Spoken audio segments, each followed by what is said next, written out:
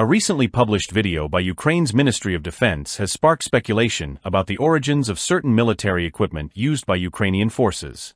The footage, filmed at the 199th Training Center of the Air Assault Forces, shows artillery exercises involving self-propelled howitzers. Initially, many observers identified these vehicles as M109A6 Paladins, a modern and advanced model used by Western forces. However, a different theory has emerged, suggesting that the vehicles in question are instead M109A2 howitzers, potentially transferred discreetly by the Netherlands. The theory was first put forward by the Polish defense outlet Defense 24, and further speculated by the X account at Jeff21461 in June 2024, which tracks arms transfers to Ukraine. According to the account, there were discussions of a potential delivery of these howitzers by the Netherlands. Several key details support this theory. One of the most compelling is the camouflage pattern on the vehicles, which closely resembles that used on M109A2 howitzers once operated by the Dutch Army. The pattern has been confirmed through photographic archives, and the visible wear on the howitzers suggests they had been stored for an extended period. This aging of the equipment aligns with the notion that these may be decommissioned assets now repurposed for training rather than frontline combat operations.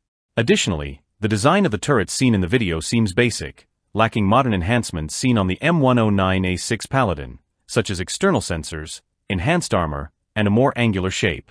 The visible cannon appears consistent with the M185 155mm model used on M109A2 and M109A3 variants, whereas the Paladin uses the more advanced M284 cannon mounted on a different cradle.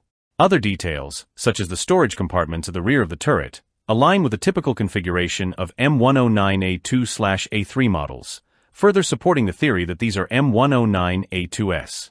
The M109A2 is an upgraded version of the American M109 self-propelled howitzer, acquired by the Netherlands in the 1980s to modernize its artillery forces.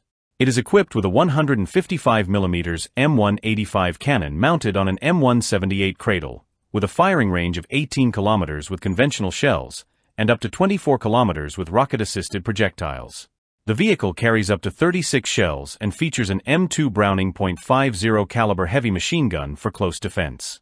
Powered by a Detroit Diesel 8V71T engine producing 405 horsepower, the M109A2 can reach a top speed of 56 km per hour and has an operational range of about 350 kilometers. Though the Netherlands phased out its M109A2 fleet in the 1990s and early 2000s, some of these vehicles were stored and later sold or transferred to other countries. The simple, reliable design of the M109A2 has made it a valuable asset for artillery support and training, even decades after its decommissioning. Its aluminum armor, though vulnerable to modern anti-armor weapons, offers protection against shrapnel and small arms fire. The Dutch government has yet to officially confirm any transfer of these howitzers to Ukraine. However, the discreet nature of military aid to Ukraine since the onset of the conflict makes such a move plausible. Numerous weapon systems and military assets, including drones and ammunition, have been delivered without public announcements, likely to avoid further escalating tensions with Russia. The use of M109A2S for training in Ukraine serves multiple strategic purposes. First, deploying older systems allows Ukraine to preserve its more advanced artillery for combat operations. The decision to employ these decommissioned units for training underscores the importance of providing realistic conditions for artillery crews. Even older, retired systems can provide valuable operational experience for personnel, especially in non-frontline roles. The M109A2S continued use in other countries such as Greece, Saudi Arabia, Taiwan, and Lebanon highlights their ongoing relevance, even as more advanced models like the M109A6 Paladin are being used by Western nations. Their presence in Ukraine reflects broader trends in military aid, where equipment is often sent without fanfare to support Ukraine's defense while minimizing direct confrontation with Russia. The case of the M109A2 howitzers in Ukraine is indicative of the complexities surrounding military assistance during the ongoing conflict. While these howitzers may be old, their practical capabilities make them valuable for training and non-combat roles. Furthermore, the reported transfer of these assets illustrates the strategic approach taken by European nations like the Netherlands, who provide assistance through discreet military transfers to avoid worsening diplomatic tensions.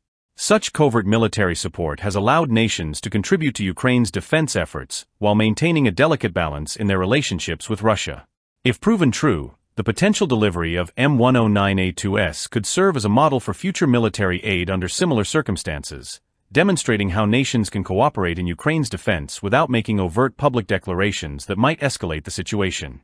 In conclusion, the potential presence of M109A2 howitzers in Ukraine sheds light on the ongoing, subtle forms of international military support that have been key to strengthening Ukraine's defenses amid the conflict.